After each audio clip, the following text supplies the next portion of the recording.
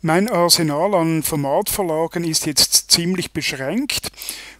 Über die Optionen kannst du dir noch weitere einblenden lassen, wenn du statt im aktuellen Dokument zum Beispiel alle Formatverlagen auswählst und bestätigst, so siehst du alle Formatvorlagen, die in Word definiert sind, aber das wird sehr, sehr unübersichtlich. Mit dieser Liste arbeite ich weniger gerne. Das setze ich wieder zurück. Übrigens hättest du auch noch die Möglichkeit, nur die verwendeten anzuzeigen. Ich wechsle aber wieder zu im aktuellen Dokument und ich zeige dir jetzt, wie du auch noch weitere selber definieren kannst. Nehmen wir an, diese Liste da, die wollen wir einheitlich formatieren. Da wurden die Listenpunkte manuell gemacht. Das ist natürlich ein bisschen doof. Da lassen wir lieber eine Liste von Word erstellen. Ich überfahre diese vier Punkte und wähle hier die Liste aus. Über die Optionen kann ich noch ein anderes Aufzählungszeichen wählen. Ich gehe hier in die weiteren Optionen und wähle ein spezielles Symbol und zwar von der Wingdings. Hier hat es hübsche Pfeile. Ich nehme mal diesen hier.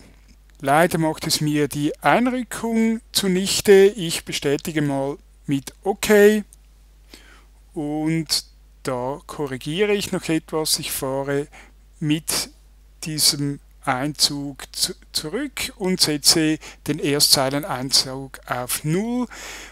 Das könntest du, da magst du dich sicher erinnern, auch noch über die Absatzeinstellungen ganz präzise mit numerischen Angaben arbeiten.